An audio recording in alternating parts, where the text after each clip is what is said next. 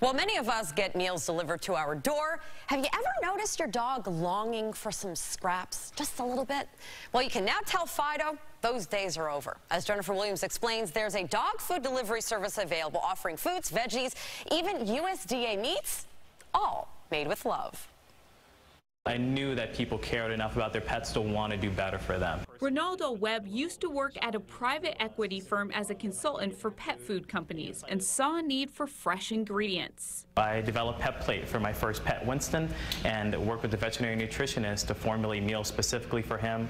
Once I saw he loved them, I decided I wanted to bring them to pet parents across the country. In 2016, he left his job to start the company and was even featured on Shark Tank. In season 8, Renaldo Webb pitched Pet Plate, a healthy pet food delivery service, and left without a deal. I'm living this right now with Plated. They've learned the hard way how difficult it is to scale. Once we launched, customers continued to order the product. We saw very strong retention, and it was hard to keep up at first. Finding the right facility to keep up with the demand was key, and now the company has over 10,000 customers and has served 9.5 million meals in the continental U.S. We're 100% human grade, so all of our ingredients are um, ingredients you would not hesitate to feed to your family, as well as all of our food is made at a USDA facility. In addition to lamb, beef, chicken, and turkey, Pet Plate uses simple, clean ingredients in their dishes sweet potatoes, uh, carrots, broccoli, apples.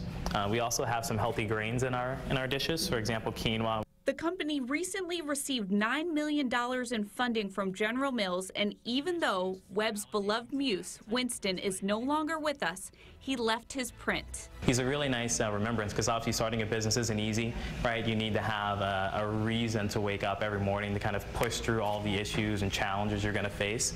And, you know, it's nice to know that I'm kind of doing it for him. In Chelsea, for Fox 5 News, I'm Jennifer Williams.